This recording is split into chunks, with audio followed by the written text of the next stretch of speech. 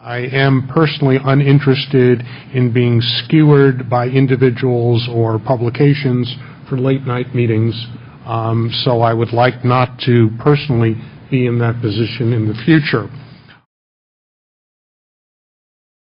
I would make a recommendation is that, you know, if, if, depending on what the process is or isn't, that there be an absolute time limit on how late Planning and Traffic Commission and Transportation Commission meetings can go.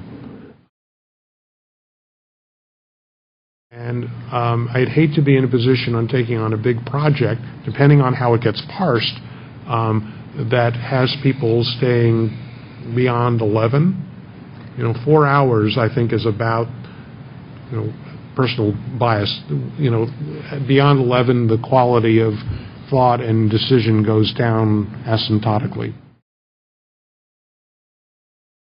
I, for one, think that the breakup of, of, of design review and residential and commercial should be the way that a planning commission runs. So I'm, I'm for it. There, you can all stone me when I leave.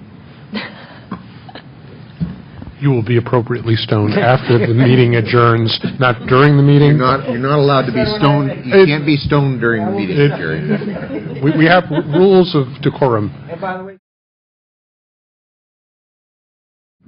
Okay, so my first thing is I, I think it's, it looks like it's going to happen. So we are sitting here, I'm guessing, just discussing how to make it more effective, Exactly. right? So our Exactly. recommendation has to be that way. It can't be any other way, it's not going to, we're already fired, so. Not, not quite yet, but it's, it's, it's coming. there.